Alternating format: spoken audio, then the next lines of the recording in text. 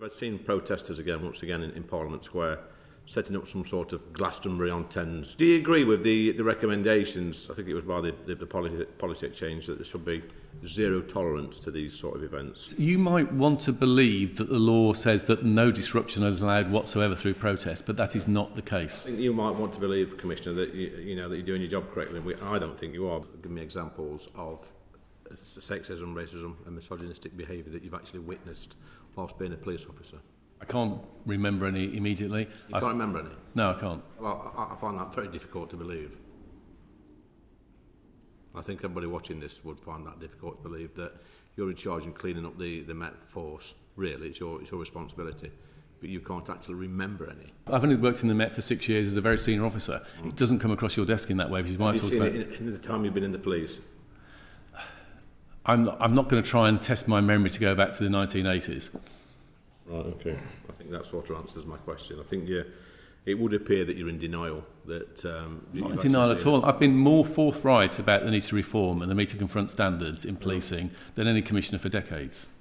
I would imagine that anybody else in any, any other industry has witnessed this type of behaviour and would admit to it and say, yes, it does, it does exist, it has happened, I have witnessed it.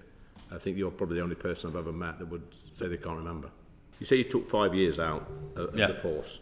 There's probably people listening to this today wish it was a lot longer, uh, and I'm one of them. Um, do you think you've got the confidence of the public? I'm not going to sit here when if people want to be personally offensive, then write it in newspapers. But I'm not going to answer those questions.